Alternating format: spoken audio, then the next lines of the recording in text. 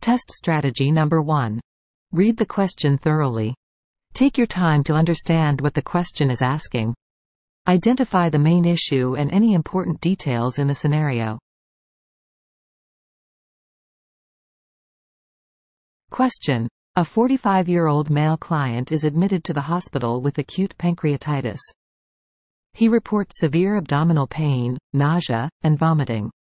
The nurse notes that the client is diaphoretic and has a blood pressure of 90 over 60 millimeters of mercury.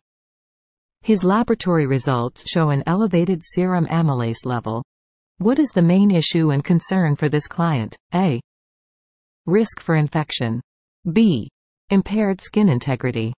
C. Risk for hypovolemic shock. D. Risk for impaired liver function.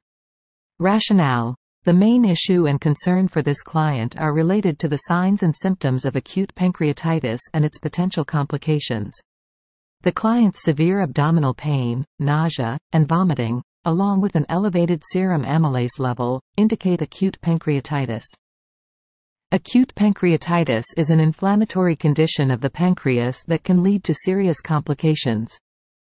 The diaphoresis and hypotension, blood pressure of 90 over 60 millimeters of mercury, are signs of hypovolemic shock, which is a life-threatening condition resulting from a rapid loss of fluids and blood volume.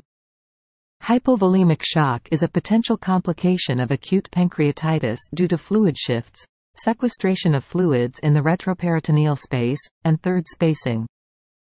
Correct answer. C. Risk for hypovolemic shock.